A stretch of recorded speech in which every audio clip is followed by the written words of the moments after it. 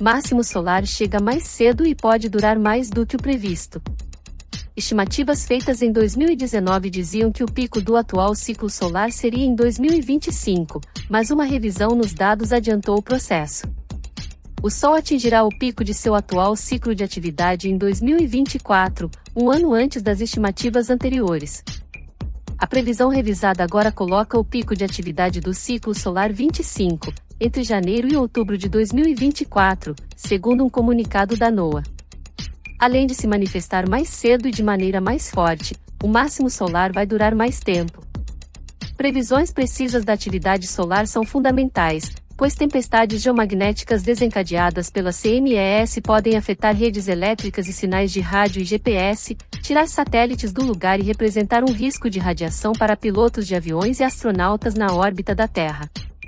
O aviso prévio de eventos climáticos espaciais pode ajudar a implementar procedimentos de proteção para reduzir os riscos.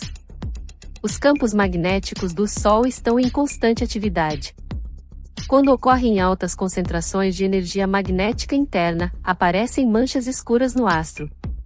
Essas manchas solares podem explodir em consequência da pressão interna dos campos magnéticos se emaranhando.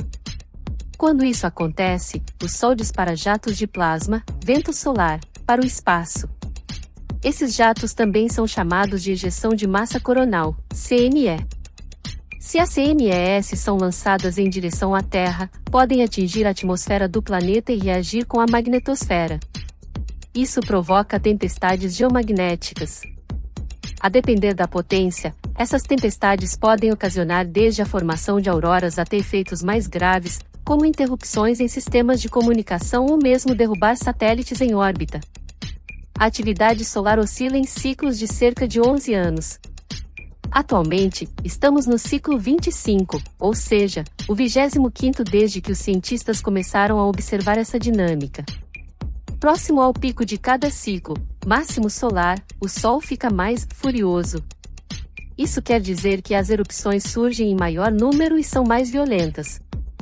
O máximo solar do ciclo atual era previsto para 2025, mas deve chegar mais cedo e ainda mais forte do que o estimado pelos cientistas em 2019.